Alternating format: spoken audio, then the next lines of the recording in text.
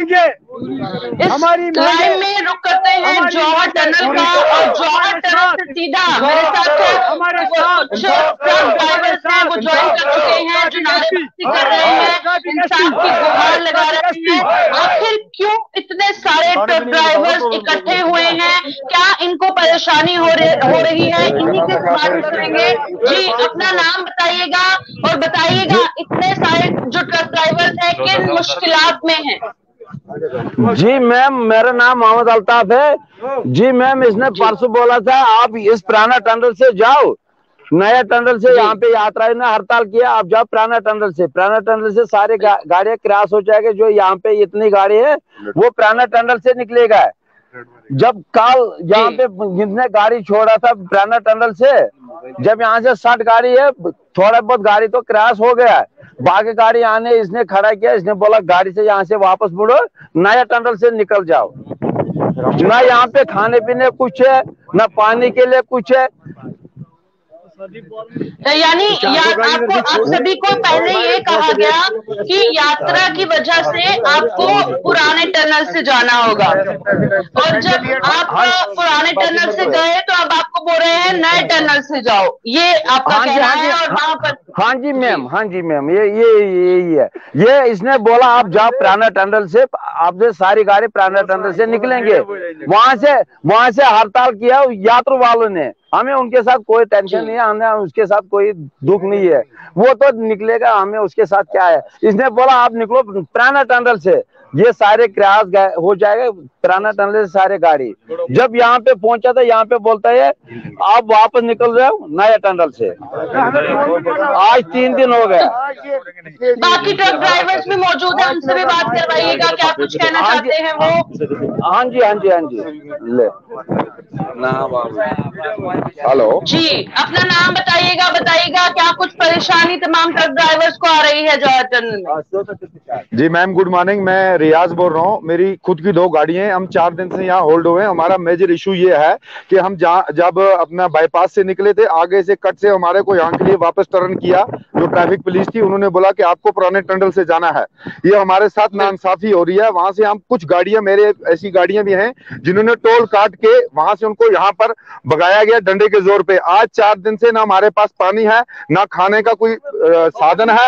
ये, एक मिनट यार, ये जो ड्राइवर लोग हैं, ये मैक्सिमम गरीब तबके से हैं और इनकी कोई सुनवाई नहीं होती है, क्योंकि हर साइड से ड्राइवर पीछा जाता है। ड्राइवर के ऊपर हर साइड से जुल्म होता है। मैं खुद एक गाड़ी, दो गाड़ियों का ऑनर हूँ, क्योंकि हम भी इन ड्राइवरों को गाली देते हैं, जब हमारे पास भाड़ा ठीक नहीं आता है। आज मैंने खुद रियली ग्राउंड में यहाँ पर आया और मैंने देखा चार दिन से ड्राइवर बुके हैं। हमारी कोई सुनवाई नहीं है एडमिनिस्ट्रेशन ये एडमिनिस्ट्रेशन हमारी बात सुन नहीं रही है।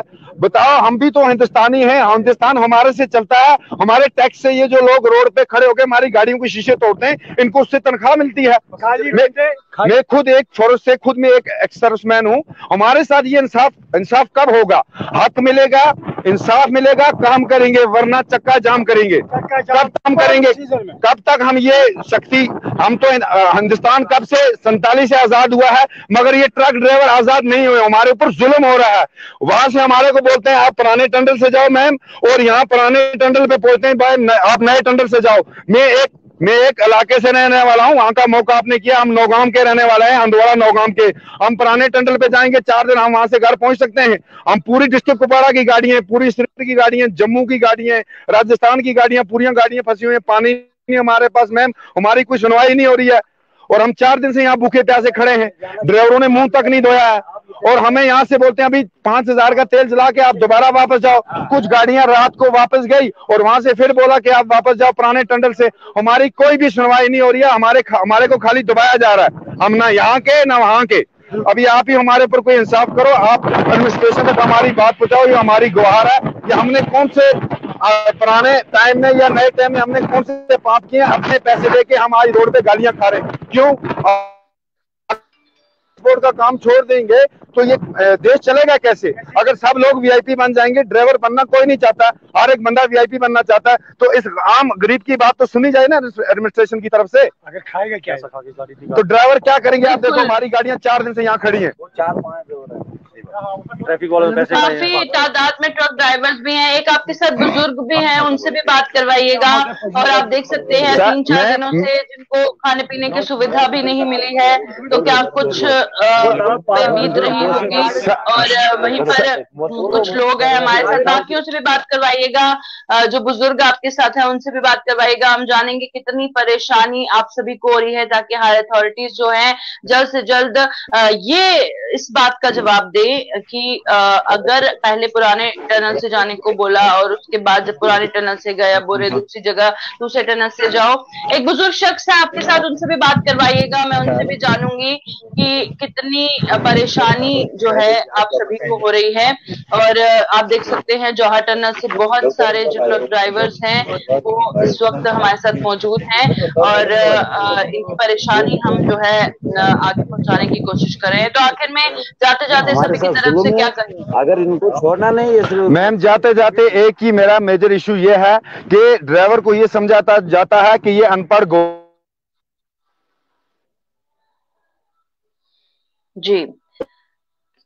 और नेटवर्क इशू के कारण जो है आ, बिल्कुल अभी फ़िलहाल राब्ता नहीं हो पा रहा है, पर आप समझ सकते हैं कि जो एक ड्राइवर की ज़िंदगी है, वो क्या होती है। इतनी मुश्किल पहले से ही उनको होती है, और उसके बाद जब और मुश्किलातों को बढ़ा दिया जाता है, अगर यात्रा उधर से थी तो इनको इन्फॉर्म कर देना चाहिए था। ये जो मिसकम्युनिकेशन है, इसको जो है अच्छे से सिस्टमेटिक वे में कम्युनिकेट करना चाहिए था कि यात्रा कहाँ से जा रही है, इनको कहाँ से जाना है। पहले इनको वहाँ भेजा गया, फिर उसके बाद बोला, आप वहाँ जाओ, पाँच हज़ार का ये तेल तेल डलवाएँगे फिर वो दूसरी जगह से जाएँगे। और एक ड्राइवर जो है आप जानते हैं कितनी मुश्किल से वो गुजारा करता है और कैसे जो है ऐसे में वो सरवाइव करेगा।